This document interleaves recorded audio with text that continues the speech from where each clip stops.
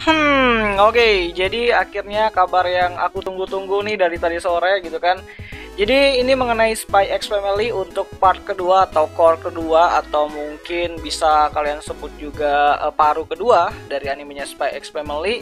Ini bakalan hadir nanti di tanggal uh, 1 Oktober jadi di awal bulan mulainya gitu kan dan untuk uh, jam penyiarannya sendiri itu bakalan rilis di jam 23.00 itu waktu Jepang sana ya. Jadi kalau di kita cepat 2 jam ya jam 10-an kayak biasa gitu. Dan ya ini menarik banget ya semoga aja nanti bakalan bisa tayang uh, di B Station juga karena bisa kita lihat di sana juga karena ini adalah sambungan untuk episode ke-13-nya yang mana isi ceritanya bakalan um, menyambung isi dari chapter ke-18 dari versi manganya kalau aku nggak salah gitu. Nah, ini menarik banget karena ini ada sebuah visual key terbaru dan juga satu video teaser pendek lah. Uh, video teaser pendeknya sama uh, visual kayaknya nggak jauh beda sih gitu kan. Jadi cuman mau announce aja bahwa uh, berdasarkan event di Abima TV yang baru tadi siar gitu kan jam 9-an kalau di uh, Jepang sana kalau di kita berarti jam 7-an malam gitu kan.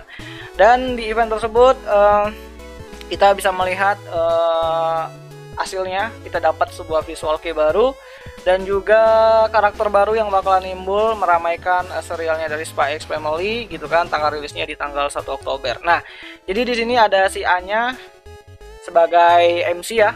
MC kita sama si Lloyd sama si Yor uh, juga Yor Forger sama Lloyd Forger.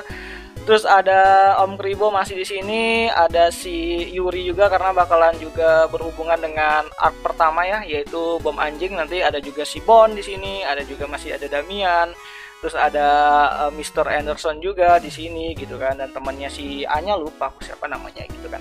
Dan ada juga uh, Miss uh, Sylvia juga dan juga ada Fiona gitu kan. Nah nantinya Fiona bakalan nimbrung di sini dan aku juga nggak tahu nih nanti sampai mana habisnya untuk uh, apa ya uh, season season part kedua ini. Jadi susah banget nyebutnya. Mungkin banyak yang bilang season kedua atau part kedua core kedua ya sama aja lah gitu kan. Karena musimnya juga juga beda juga kan. Dari um, musim uh, spring kemarin langsung uh, jeda di summer terus masuk ke fall atau Oktober gitu.